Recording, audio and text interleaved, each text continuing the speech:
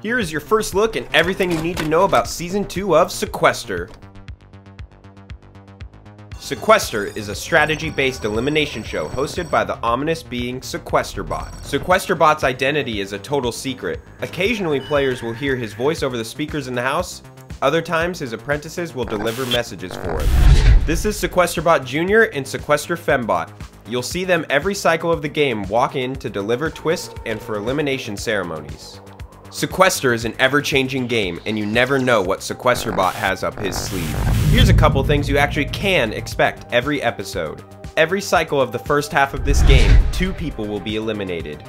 One person from a vote, and another from a battle match. The person who is voted out at elimination will have the power to inflict karma on any two people they want to compete in a battle match. This match will determine who will stay in the game and who will leave with the person voted out. Few things in this game can protect you from being voted out or chosen for the battle. Well, there are a couple. An LOS, a power hidden randomly throughout the property. If played at an elimination, all votes cast against the player playing it will not count, making the person with the second highest number of votes the person that leaves instead. Twist. In true sequester fashion, new twists will shake the game up cycle to cycle. Occasionally there will be a twist where players can strategize to guarantee their safety from the vote. Ties. If there happens to be a tie between one or more people in the game, players will have one chance to revote and break the tie. If the tie isn't broken, Sequesterbot will put every person except for the original victims of the tie on the Wheel of Misfortune, where someone will go home at random.